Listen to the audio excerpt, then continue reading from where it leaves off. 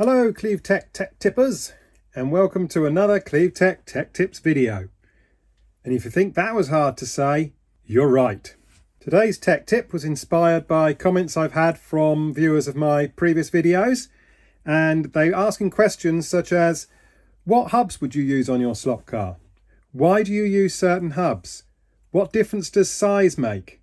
Well, size is important, but so is mass and rigidity. And in today's tech tip, you're going to find out why.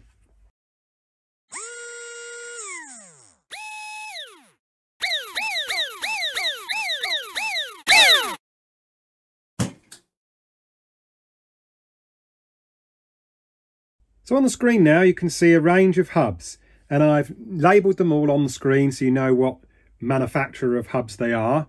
I'm not sure about all of them but I've given you some idea of perhaps what they're made from as well. Now, these are not an extensive range of hubs. You can get loads more from different manufacturers, etc., all around the world.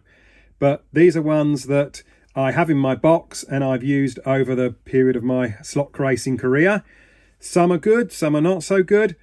But in today's video, I'm going to explain why I might choose one over the other and, in my opinion, what makes a good slot car hub.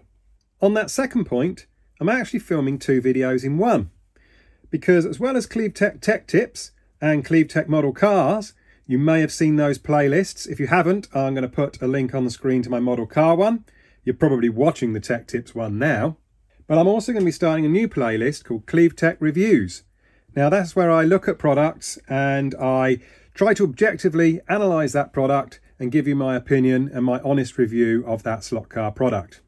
So I'm actually filming a review of this particular hub today, and that'll be coming on my channel very soon. So let's get on with our tech tip. Well, I'm going to start off by gathering some information about each of the hubs. So I'm going to weigh each one and I'm going to measure each one. So let's start by weighing them.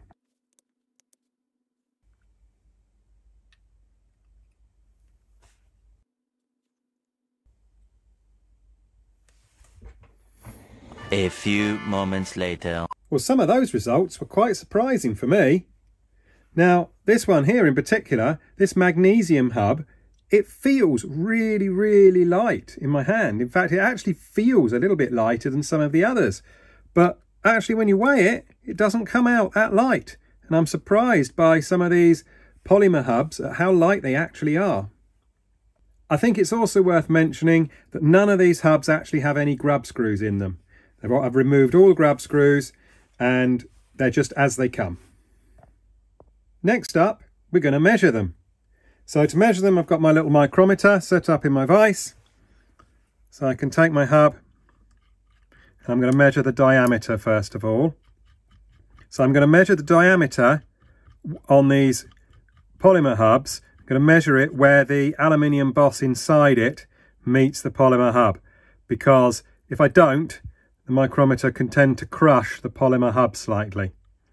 So I'm going to measure them all and I'm going to get back to you very soon. A little longer than a few minutes later. Now to measure the length, on some of these hubs I actually need to measure two things. I don't know whether you can see, if I look at that view there, can you see how a lot of these polymer hubs have a small little boss that sticks out on the back of the hub, that sticks out further than the polymer part. So I need to measure the width of the hub and I'm going to measure the extra little bit that sticks out. So in order to do that, again, I'm going to use my micrometer and I'm going to measure the main polymer part. And then I'm also going to measure the overall width of the hub.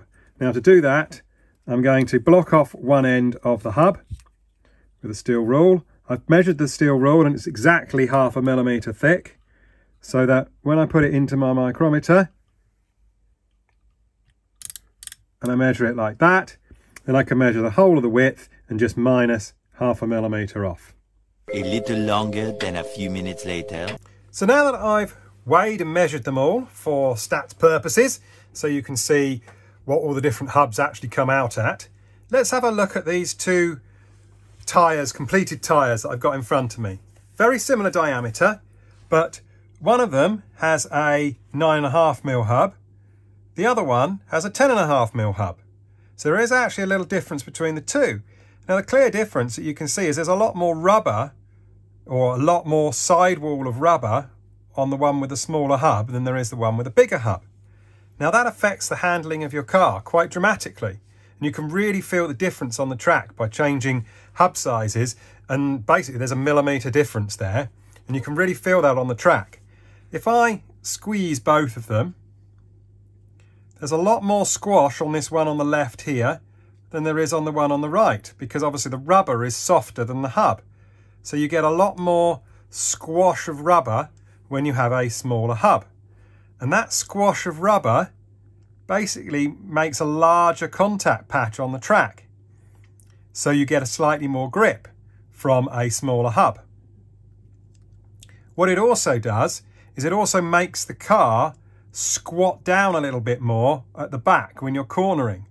So you do have to be a little bit careful because a car will feel like it's trying to jump out the slot, especially if you've got too much grip, where the back sits down under power and the back will squash down under power and then the front of your car could potentially become slightly lighter.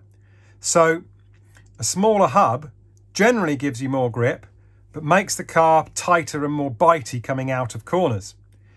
A larger hub will give you slightly less grip, but generally gives you slightly more feel over what the car is doing. When the car is going round a corner, you can actually, the car will perhaps move more progressively and slide more progressively with a slightly larger hub because there's less squish of rubber and the car is staying flatter around the corners rather than being squished down on the outside corner and actually twisting the whole chassis a little bit more. So what hub size should you use? Well, pretty much like I've said, a smaller hub generally gives you more grip, but perhaps slightly less feel over what the car is doing. And a larger hub gives you slightly less grip, but gives you more feel over the car and tends to corner flatter. So if you're really, really, really struggling for grip, I would go for a smaller hub. Obviously, we're talking about using perhaps comparing the same rubber across all your hubs here.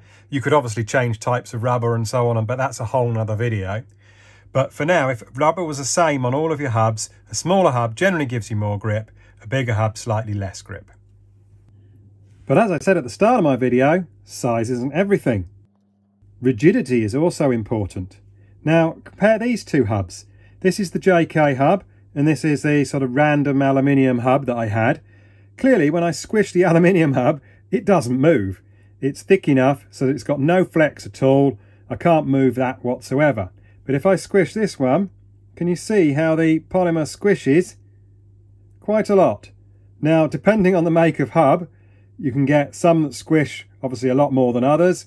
You can get different thicknesses of hub. Again, they've got different amounts of squishiness. But basically, the more squishy the hub is, again, the more bite you could potentially get from your tyres. Similar to having more rubber, more sidewall depth on your tyre, a squishier hub tends to give you more grip out of your car. But again, it gives you less feel over the car. In that when the car is cornering, the hub is obviously squashing slightly as you're loading it up. So you get a sort of springiness on the back of the car as you're coming out of the corner. And that can sometimes give you too much bite out of a corner and mean that the car sort of front ends out of the slot. Whereas a harder hub or a more rigid hub tends to move, the car tends to corner much flatter. It will slide a little bit more, but it corners flatter and is slightly more predictable.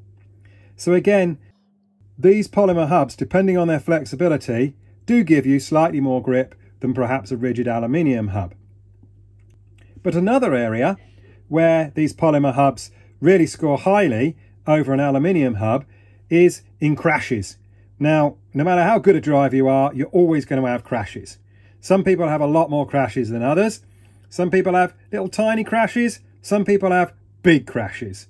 But ultimately, you're going to be crashing. So if you hit a wall with one of these aluminium hubs, yes, it's much stronger in the first place, so maybe no damage will occur, but if damage does occur, then the aluminium hub tends to become flattened or dented, and then that's totally out of balance and it's running totally out of true on your axle and can be a horrible nightmare to carry on driving with and may need replacement. Where these polymer hubs really come into their own is if you do have a big accident against the wall, they tend to squish and give slightly and they still spring back and they run pretty true afterwards. So they don't actually shatter and break. Although I have had some big accidents where the bosses have been knocked out of the hub and have actually cracked a hub all the way along. But that generally only happens if you've hit another car and you've actually taken a chunk out of the edge of the hub and it's actually cracked along the edge of that hub there. So that's not very common. If you prepare your tyres properly and look after your hubs, then generally they last quite a long time. But a squishier hub gives you more grip but less feel, but it also is very good in accidents, whereas a rigid hub tends to give you slightly more feel over your car, corners flatter, but it can be uh, a bit of a liability in an accident um, and slightly less grip. So there's your answers to rigidity and size. But remember I said that mass matters as well. In this hand here, this is the heaviest one that I measured. It's the heaviest hub that I measured, and this is the lightest hub that I measured. Now, the difference between them is over 0.4 of a gram. So we're getting on to half a gram difference between these two. So think about the mass of the hub. You've got this mass as part of your car anyway. So you've got to accelerate and decelerate the mass of two hubs on the back of your car. But you've also got to accelerate them rotationally as well and decelerate them rotationally as well. So rotating mass really has a big impact on the way the car handles. Now, potentially a really heavy wheel, you could say, could act like a flywheel, and then that obviously helps keep the car straight, makes it, you know, re resist change of direction. But really, the gains of that are probably not as much as the gains you can get from running lighter hubs and lighter wheels for acceleration and deceleration and making the car perhaps a little bit more nimble and handle a little bit better in respect to cornering. So again, having a lighter hub can also improve your speed of your car. So to answer the question, basically the lighter you can make your tyre and hub assembly, the better performing your car is likely to be. It's going to accelerate better, it's going to brake better, it's perhaps going to change direction better and be a little bit more predictable. So on the subject of mass, again, if you looked at the chart of the data of me weighing the mass of these hubs, by drilling out this Cahoza 12mm hub, we've actually saved nearly 0.14 of a gram, which is actually quite a large amount. So you're probably not going to save quite so much on a smaller hub, but everything makes a difference. Well, I hope that CleaveTech tech tip has helped you a little bit more in order to choose the right hub for the right situation.